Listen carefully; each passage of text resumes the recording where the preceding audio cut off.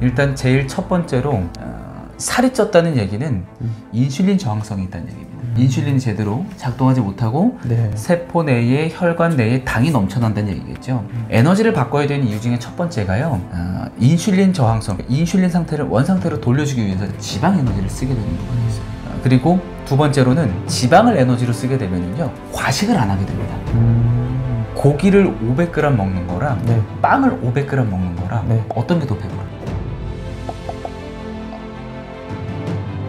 음. 음. 책에서 이제 내 몸의 엔진을 바꿔야 된다. 음. 내 몸의 엔진을 바꾼다는 건 어떤 의미일까요? 보통 저희가 주식으로 먹는 게 이제 탄수화물이잖아요. 네. 탄수화물인데 음. 어, 엔진을 바꾼다는 거는 구동하는 체계를 바꾼다는 거거든요. 음. 음, 예를 들면은 차 자동차 같은 경우에도 어, 경유, 음. 휘발유, 어, 가스, 전기가 있죠. 이렇게 네 가지의 에너지를 가지고 돌아가는 것처럼 우리 몸도 크게 보면 세 가지 에너지로 돌아갑니다. 음. 탄수화물, 지방, 단백질인데 음. 단백질 같은 경우는 솔직히 어, 에너지원으로 쓰이는 녀석은 아니에요. 네. 어, 얘는 정말 밥을 못 먹고 극도의 기아 상태가 되었을 때에 근육을 왜 당으로 녹여서 쓴다고 말씀을 드렸잖아요. 네. 그런 상태인 거지 평상시엔 두 가지입니다. 어, 두 가지. 탄수화물과 지방. 음. 근데 탄수화물을 에너지로 쓴다는 얘기는 당을 에너지로 쓴다는 얘기거든요. 그리고 지방을 먹는다는 얘기는 지방으로 에너지를 쓴다는 얘기인데 자, 여기에서 이 관점을 생각해 주시면 될 것 같아요. 네.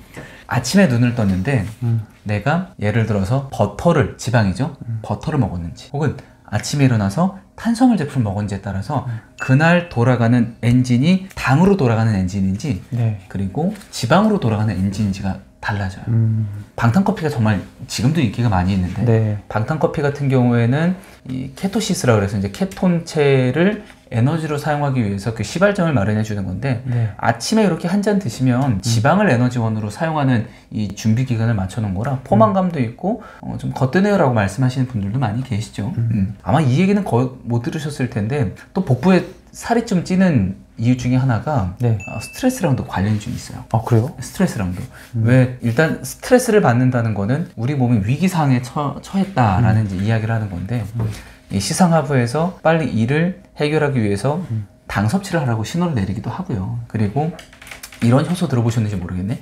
HSD 효소라는 게 있어요. 음. HSD 효소라는 게 있는데 얘가 뭐냐면은 네. 스트레스 호르몬을 활성화시켜주는 일을 하는 녀석이에요. 어, 많은 분들이 이 스트레스 호르몬이라고 하면 코르티솔이라는 맞아요. 어, 코티솔이라는 얘기를 많이 들어보셨을 텐데 얘는 활성화된 상태. 음. 근데 비활성화된 활성화된 상태를 코티손이라고 얘기해요. 음. 이 스트레스를 많이 받게 되면은 이 HSD 효소라는 녀석이 코티손을 코티솔로 바꿔주는 역할을 해요. 음. 이 효소가 활성이 돼서 HSD 효소가 코티손 효소를 코티솔로 활성화를 시켜주면은 아니 안 그래도 스트레스 받아서 먹으라 그러는데 음. 불난 집에 부채질하는 것처럼 더 땡기게 되는 거죠. 그래서 복부에 의도치 않게 어, 그리고 팔뚝 밑에 의도치 않게 음. 계속 살이 붙게 되는 거죠. 음. 아까 말씀하셨던 그 내 몸의 엔진을 바꾼다라고 하셨을 네. 때 이게 뭐 지방을 에너지원으로 쓸 거냐, 네. 어떤 탄수화물을 에너지원으로 쓸 거냐 이런 차이인 거잖아요. 그렇죠. 이게 그냥 내가 축적된 지방을 제거한다는데 의미가 있는 건지 아니면 이 에너지를 바꿨을 때 내 몸에 일어난 변화도 있는 건가요? 어, 일단은 저희가 이제 앞서서 지금 이 주제는 다이어트에 대한 이야기를 하다가 여기까지 오게 됐는데 어떻게 보면 네. 식단인 거잖아요. 네. 디톡스를 하기 위해서 일단 제일 첫 번째로 어, 살이 쪘다는 얘기는 인슐린 저항성이 있다는 얘기입니다. 인슐린이 제대로 작동하지 못하고 네. 세포 내에 혈관 내에 당이 넘쳐난다는 얘기겠죠. 에너지를 바꿔야 되는 이유 중에 첫 번째가요. 어, 인슐린 저항성, 인슐린 상태를 원 상태로 돌려주기 위해서 지방 에너지를 쓰게 되는 부분이 있어요. 어, 그리고 두 번째로는 지방을 에너지로 쓰게 되면은요 과식을 안 하게 됩니다. 음. 고기를 500g 먹는 거랑 네. 빵을 500g 먹는 거랑 네. 어떤 게 더 배부를까요? 고기가 더 배부르죠. 누구나 다 알고 있죠. 네. 지방은 1g당 9kcal이고요. 그리고 탄수화물은 어, 1g당 4kcal가 맞을 거예요. 음. 소위 말하는 칼로리에서부터도 차이가 좀 많이 나기 때문에 내가 포만감도 느끼면서 든든함도 느끼면서 어, 에너지를 좀 얻기 원한다라고 하시면은 탄수화물을 아예 안 먹을 수는 없어요. 음. 지방과 단백질과 탄수화물에 대한 수치 예를 들어 지방을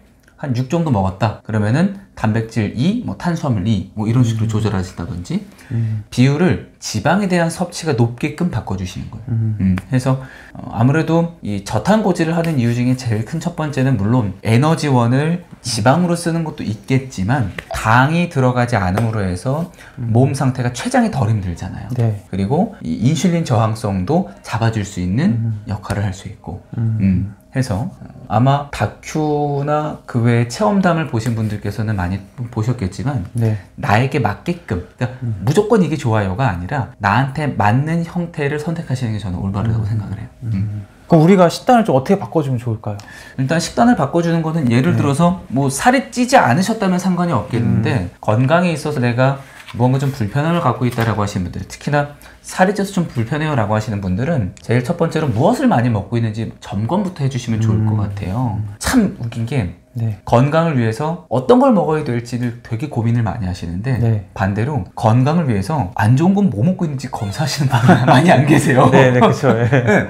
내가 먹고 있는 음식 중에 음. 습관 중에서 안 좋은 게 뭔지를 먼저 좀 점검을 하신 다음에 이거를 빼는 연습. 음. 아, 그래서 우리가 아무래도 한국 사람도 그렇고 외국 사람도 그렇고 제일 쉽게 만날 수 있는 게 탄수화물 제품이다 보니까 음. 나는 가공된 탄수화물 제품들을 얼마나 많이 먹고 있는지 혹은 음료수를 좀 즐겨 먹고 있는 건 아닌지 음. 어, 어, 밥을 먹더라도 정말 이 고슬고슬한 쌀밥만 먹고 있는 건 아닌지 네. 응, 현미밥이나 잡곡밥은 아예 안 먹는지 이런 것들을 좀 보시면서 음. 습관을 천천히 좀 바꿔나가시는 거를 추, 천을 좀 드려요. 확 바꾸면 네. 오히려 그게 또 스트레스라고요. 음.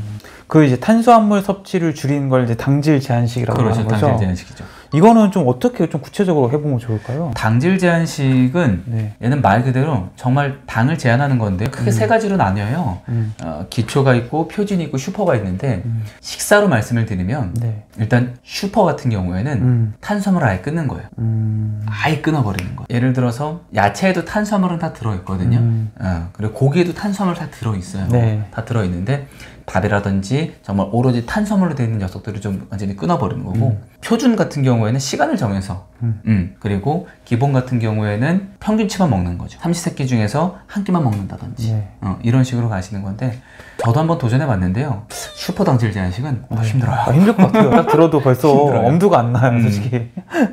그러면은 그 당질 제한식을 해보셨다고 하니까 네. 그럼 이제 그 슈퍼 당질 제한식이 힘들고 좀 절충을 하셨을 거 아니에요? 절충을 했죠. 어떤 식으로 좀 하셨어요? 저는 제일 우선적으로 네, 저녁 시간에 밥을 먹을 때 네. 탄수화물을 안 먹었어요. 아, 밥, 그러니까 쌀밥을 안 드셨다? 네. 아. 대신에 포만감이 느껴질 수 있는 식사를 했었어요. 음, 그럼 주로 뭐 야채, 채소 이런 거 드신 건가요? 그렇죠. 채소와 이제 예를 들어서 고기들, 음. 음, 이런 것들을 좀 먹었고 네. 낮 시간대는 탄수화물을 좀 섭취를 하되 음. 저녁 시간대에는 사람이 집에 가면 마음이 편해져서 네. 밥 먹고 디저트로 뭐 먹을까 생각 많이 하시잖아요. 맞아요. 어, 아이스크림도 싹 다 없애버리고, 네. 음, 그 막걸리도 좀 좋아하는 편인데 음. 막걸리도 싹 다 없애버리고 한 일주일 정도, 일주일 정도 해보니까 자연스럽게 한 2kg 정도는 음. 감량이 와. 되더라고요. 예. 음. 뭐 저녁 시간에 늦게만 안 드셔도 아 네. 대신에 그건 있어요. 네. 너무 늦게 드시면 효과가 좀 반감이 되기는 해요. 음. 음, 그래서 어, 우리 몸에 소화되는 시간도 좀 있고 하다 보니까 네. 최소한 7시에는 드셔야 되는데 음. 이게 뭐 다 생활 패턴이 다 다르시다 보니까 늦게 드시는 분들이 많이 계시잖아요. 그래서 어지간하면 어, 드시되 네. 탄수화물은 어, 줄이시는 방법 요것도 하나 팁이 될 겁니다. 음. 그 이제 책의 마지막 부분에 기름에 대해서 써주셨잖아요. 음, 네. 이 기름을 이렇게 따로 떼가지고 좀 중요하게 써주신 이유 있을까요? 기름을 따로 뗀 이유는요. 네. 어, 솔직히 너무 무분별하게 기름을 어, 먹고 있어서인데요. 음. 저희가 이제 포화지방산이 있고 불포화지방산이 있는데 네. 우리가 요리를 하게 되면은 가열이라는 걸 하게 되잖아요. 네. 근데 불포화 지방산 같은 경우는 말 그대로 지방의 형태가 불안정한 거죠. 음. 가열을 하면은 타게 됩니다. 음. 저희가 탄 음식 먹으면 안 된다고 얘기하잖아요. 네. 근데 요리를 하다가 기름이 탔어. 그럼 그 음식을 먹으면 될까요? 안 되거든요. 안 되죠. 가열을 하더라도 음. 얘가 구조가 변하지 않고 음식을 만드는 데에 안전하게 조리할 수 있는 기름을 좀 해주셔야 음. 돼요. 그래서 포화지방으로 많이 이루어져 있는 기름을 쓰세요라고 이제 권장을 드리는데 네. 예를 들어서 버터, 음. 뭐 코코넛 오일, 네. 어, 하나 더 말씀드리면 뭐 호두, 음. 호두, 아몬드 이런 땅콩들 네. 이러한 포화 지방으로 이루어지는 기름들이 있어요. 음. 이런 것들을 좀 선택하시면 발연점도 높고 음. 가열을 했었을 때 안전성도 좀 있어서 음. 아, 드시기 괜찮습니다. 특히나 아보카도 오일이 있는데 네. 아보카도 오일은 이게 좀 호불호가 좀 갈려요. 음. 어, 향 때문에 음. 해서 본인에 맞는 기름을 찾아서 좀 드시면 되겠습니다. 근데 우리가 이제 보통 일상적으로 요리를 할 때 쓰는 식용유 같은 경우에 음. 보통 이제 뭐 아보카도나 뭐 호두, 아몬드 이런 기름이 아니라 네. 콩기름이나 보통 이제 뭐 무슨 CU 뭐 이런 네. 게 많잖아요. 좀 그런 기름을 고를 때 우리가 좀 이런 거 염두에 보고 고르면 좋다 이런 건 있을까요 혹시? 일단 저희가 소위 말하는 음. 어, 포도라든지 카놀라라든지 음. 이런 얘기 하는데 네. 콩기름이라든지 음. 곡물이 곡물에서 기름을 빼내야 되면은 네. 상당히 어렵겠죠. 음. 음, 그래서 어, 부수적인 일들을 합니다. 음. 어, 제 개인 경험담으로 네. 그 코코넛 오일을 구매를 하는데요. 물어봤어요. 그 정제된 MCT 오일이 있고 음. 그리고 코코넛 오일 자체가 있는데 어떤 걸 먹어야 되나라고 해서 직접 만드는 분한테 전화해서 물어봤더니 음. 네. 정말 건강을 생각하실 거면은 음. 그냥 이 하얗게 굳는 코코넛 오일을 먹으라고 하더라고요. 음. 왜요? 그랬더니 네. 완전히 정제된 MCT 오일은 화학 적인 그 작용이 좀 들어간대요. 아. 화학약품들이 살짝 들어가서 가공 단계에서 그렇죠. 음. 그래서 완전한 건강을 원하실 거면은 기름이 이제 굳는 음. 형태의 아, 코코넛 오일을 쓰세요라고 이제 이야기를 주셨고 음. 어, 그리고 이제 올리브 오일들 많이 사용하실 텐데 네. 올리브 오일 같은 경우에도 너무 고온에서 발연점이 높기는 하지만 음. 너무 고온에서 조리하시는 것보다는 중저온에서 음. 어, 조리하시는 거를 좀 추천을 드립니다. 그럼 좀 반드시 피해야 되는 기름 혹시 이런 거 있을까요? 일단은 식용유 네. 그리고 어, 카놀라나 음. 이런 포도 같은 경우 야, 우리가 많이 먹는 걸 좀 피해야 되네요. 이게. 그렇죠 아무래도 네. 그리고 좀 챙기셔야 되는 것들은 음. 저온 압착 곡물 같은 경우에는 불포화 지방산을 많이 함유가, 함유하고 있단 말이죠 네. 열을 가해서 기름을 빼내는 순간 음. 변형이 될 수 있는 위험이 좀 많이 생깁니다 음. 네, 그리고 저온 압착이라는 게 말 그대로 네. 어, 열을 가하지 않고 추출해낸 거잖아요 음. 그만큼 깨끗하고 건강한 기름을 얻기 위해서는 음. 이런 곡물류라든지 어, 소위 참깨 이런 것들은 가열하시는 것 찾으시는 건 아니에요. 음. 그래서 시중에서도 참기름 들기름 이제 검색해서 비싼 거를 보시면은 네. 어떤 게 비싸냐면은 진짜 초저온 막 이렇게 써놓은 것도 있는데 어. 열을 절대적으로 가하지 않고 음. 있는 그대로 압착시켜서 빼는 기름 음. 그런 참기름은 좀 비싼데 그래서 참기름이나 들기름 같은 경우도 불에 달구시는 거 아니에요. 음. 네, 그냥 요리가 다 끝나고 난 다음에 위에서 뿌려서 드셔야지. 아. 꼭 그런 분 계세요. 네. 물론 물론 맛은 있어요. 네네. 근데 건강을 생각하시는 분들이라면 음. 김치를 신김치 들기름에 달다 볶는 거 좋아하세요? 네. 맛있죠. 맛있죠. 맛있는데 이게 결과적으로 보면은 볶으면 안 되거든요. 아. 음. 그래서 보면은 센 불에 볶다 보면은 타잖아요. 네. 그래서 아. 일단 우리가 만약에 일상적으로 먹는 뭐 식용유를 고를 때 네. 좀 비싸더라도 저, 저 온으로 네, 그쵸. 이제 압착해서 만든 기름을 먹는 게 좋다. 네네. 그리고 이제 불포화 지방산이 너무 많이 들어있는 기름들은 피하는 게 좋다. 그렇죠. 해서 고온으로 가열했었을 때에 변형될 수 있는 위험성도 있고 그리고 아무래도 제일 중요한 게 네. 이게 제품으로 나왔을 때 보여지는 것과 그 이면도 봐야 되는 거잖아요. 네. 어떻게 재배를 했고, 네. 그렇지 어떻게 추출을 했고, 네. 어, 떤 과정을 통해서 이 제품이 만들 어졌는지를 아- 알아야 되기 때문에 귀찮고 번거롭지만 솔직히 내 몸 하나 지키는 거기 때문에 네. 내 몸을 지키는 거기 때문에 그 정도의 불편함은 저는 감수할 만한 가치가 있다고 생각을 합니다. 음. 아, 그럼 작가님도 어쨌거나 집에서 뭐 계란 후라이를 해 먹든 뭘 먹든 기름을 쓸 거 아니에요, 식용유를. 그래서 싸워요. 그거 쓰지 마 그러면. 아, 그래도 이걸 해야 맛있대요.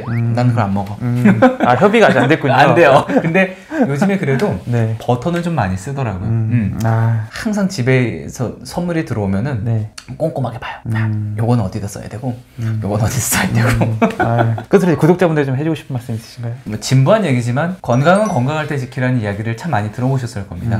음. 겉으로 보기에는 되게 멀쩡해 보이실 테죠. 정말 허우대만 멀쩡했었던 시절이 있었는데 네. 한번 아프면은요 회복하는 데 너무나 오랜 시간이 걸립니다. 제가 원인도 모르고 이제 장이 안 좋아서 무려 25년이 넘는 시간 동안 큰 고통을 받아오면서 음. 지내왔는데요. 이 원인을 해결하니까요 삶이 바뀌어요. 근데 이 원인을 해결하기 위해서 저는 거의 30년 가까이 되는 음. 시간을 투자를 했습니다. 저희 아버지가 그런 얘기를 하시더라고요. 젊었을 때 관리해야 나중에 나이 들어서 후회 안 한다고 하시더라고요. 음, 네. 음. 유독 이런 얘기 하시는 분들 계세요. 유난 떨지 말아라. 네. 맞아, 맞아요.